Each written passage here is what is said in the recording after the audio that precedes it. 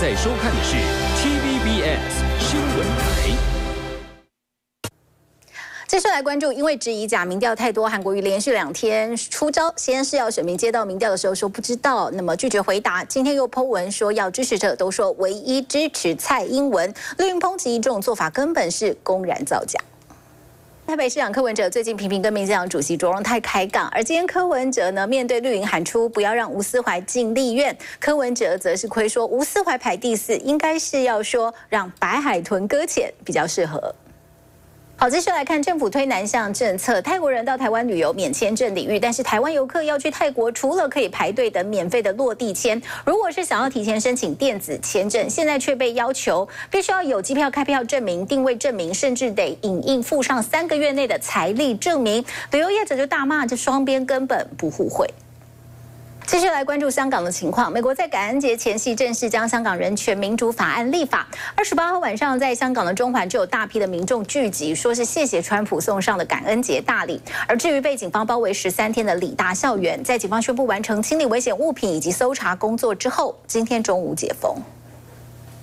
再看美国总统川普是要向墨西哥毒枭开战吗？他在接受专访的时候提到，准备将墨西哥贩毒集团列为恐怖组织名单。那这种说法让墨西哥政府非常的火大，因为恐怖组织的这样子的标签会进一步冲击外商投资跟国际旅游的招商形象。墨西哥总统呢就批评川普干涉内政，也担心的是美国未来有没有可能借此单方面派兵进入墨西哥。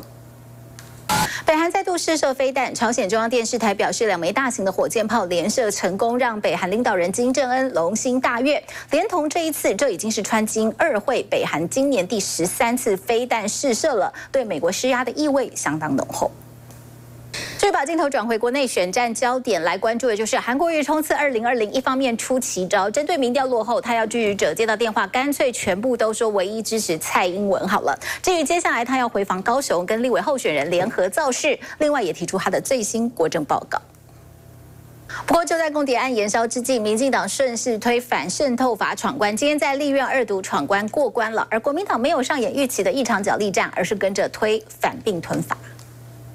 好，绑桩动员没有效的地方在哪里？继续来看的是，像是新竹县市、台中市，或者是新北地区很多外来人口的桃园市、新北等等，传统的蓝绿基层动员的影响力已经逐渐淡化，反而是选人不选党的摇摆族。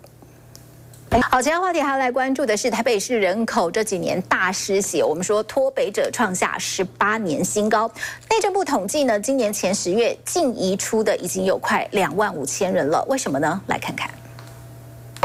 劳保基金的财务黑洞有没有得解呢？来看看劳保基金操作绩效报佳音，今年前九个月大赚了六百三十九点八亿。